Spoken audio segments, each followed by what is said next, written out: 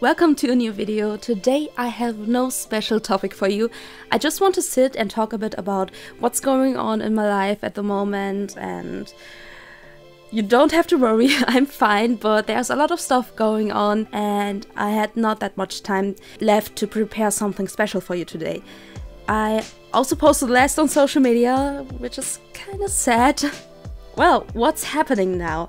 I'm preparing a lot for the Leipzig Book Fair, which is one of Germany's biggest kind of convention, and I'll be there with my booth and a lot of new stuff. I'm hoping for that I will get finished everything until then.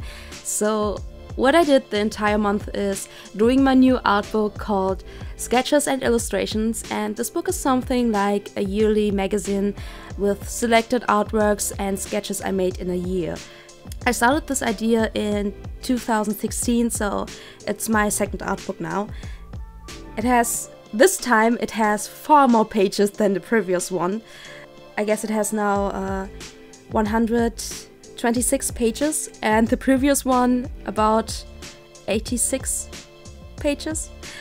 And yesterday I've sent everything to get printed, so I'm pretty excited if it will look good at the end. So at first there will be only 100 books of it um, for the book fair. And maybe if everything is gone or if a lot of people want to get a book then maybe I will print more books. But at first there will be only 100. And the next book, which is going to get printed, is my little short story. And manga pages book called all these stories. Um, for now, it's just the project title, and I'm not sure if I will find a better name for it.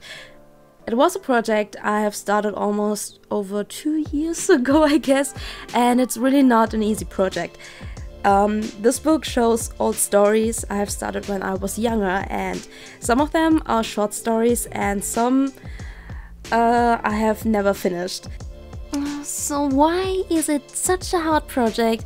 You just put your old stuff in there. Well, not really. I need to translate every page into English, and I'm not a native speaker as far as you know. Um, I have to edit the pages so they will look good when printed. And I drew, uh, and I'm still drawing new illustrations for each story, and there will be one remake of one of these short stories. And if I'm good, there might be more. Uh, it's just a matter of heart. And I hope everything will work well. Um, I'm looking for somebody who is native speaker and might help me proofreading my pages. So if you're reliable and fast, uh, please send me a message. It would be great to have someone who can uh, help me by proofreading my pages because I'm, I'm not a native speaker and I'm not that good in uh, talking English and writing in English. And what's missing is also some um, knowledge about urban speaking, uh, urban language. Uh, I guess there will be less than 50 books of it, because a part is only for the ones who have pre-ordered this book, and I'm not sure if enough people are having interest in getting this book. Let's see, if, if people are interested in getting more then I will print more. These are my biggest projects for now, but there are some more things, uh, like just preparing new posters, postcards, merchandise like pretty keychains, uh, buttons, new uh, ACEO-Cards für die deutschen Kakaokarten.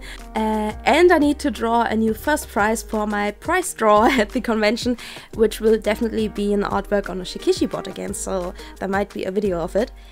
And so, yep, super duper much work, but I'm excited and I can't wait to get all the stuff done and then finally just chill in bed again or playing games all day. Uh, oh, it would be so good.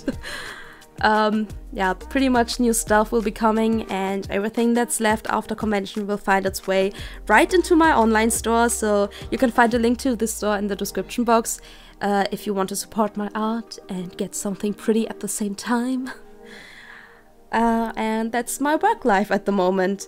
I hope the effort will be worth it so you can enjoy my new stuff. So far, you can visit me at the Leipzig Book Fair in Germany.